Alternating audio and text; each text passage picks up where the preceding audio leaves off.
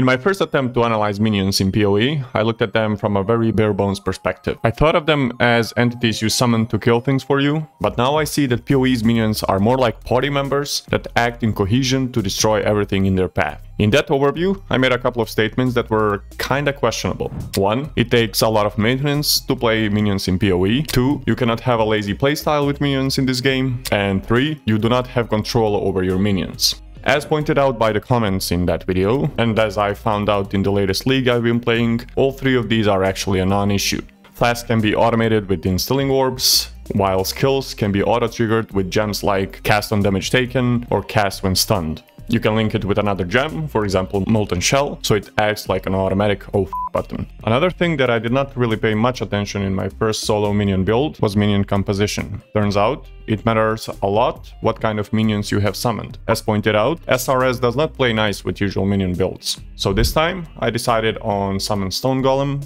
Animate Guardian, and Raise Spectre. More on those later.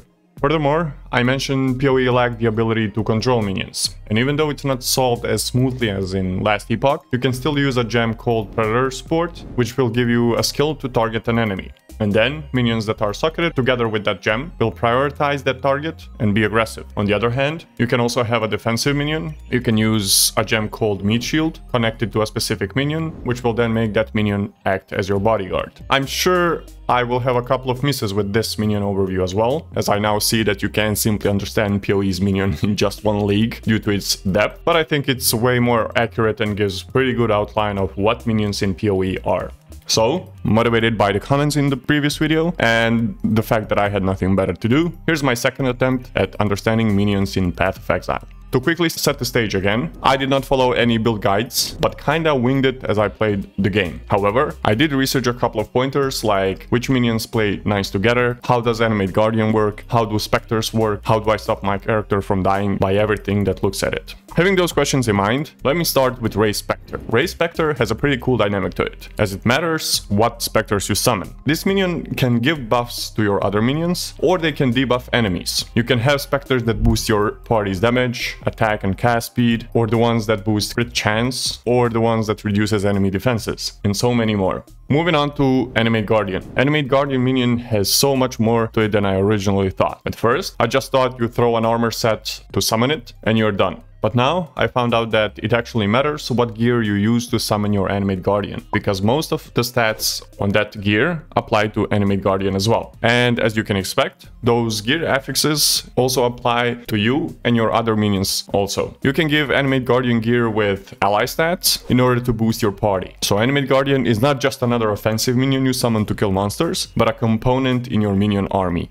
To round it up, let me quickly touch on how minion gems and damage works. In my previous attempt, I focused on gems that explicitly stated minion keyword. Turns out, minion damage can be scaled with other gems as well. For example, you can use gems like melee physical damage and increase melee minions damage, or multi-strike to proc multiple hits. On top of that, there are some pretty cool affixes on items that can completely change how your minions behave. I got gloves that require no corpses to raise zombies, but zombies are then also treated as corpses. That is, you can explode them with corpse explosion. This can be annoying if you want to keep your minions at max all the time, because you then have to resummon zombies over and over again. Or you have to be careful where you explode those corpses. The last question I still failed to answer, but I did get some indication as to why my character dies frequently. I feel like inadequate defense stats in PoE are way more punishable than in any other ARPGs I have played. Even though I had my resists at 75% or some even capped at 90%, I was still getting one tapped in a lot of cases. I found out that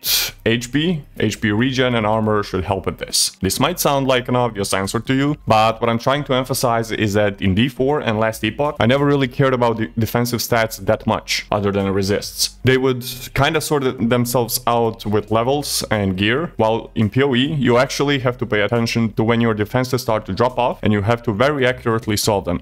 I want to end this one up with a look at Last Epoch and Diablo 4. I don't want to beat the dead horse with opinions about Diablo 4 and specifically D4's minions, but I just want to point out one thing. The more I play other ARPGs, in this case PoE, the more I see the flaws and shortcomings that the veteran players of this genre pointed out ever since the game came out. You may say that it's fine for the game not to be as complex, And to some degree, you'd be right. But even so, I can't help but think of Diablo 4 as being in early access, and these seasons that are coming out as patches that will eventually lead up to 1.0 release called Vessel of Hatred. On the other side, there's Last Epoch, whose minions and game in general already has so much depth to it. So I wonder, how is Diablo 4 supposed to compete with this? Is it really going to have such prevalence in this quote-unquote casual market to keep it going its own way? I guess we will see in around 6 to 12 months.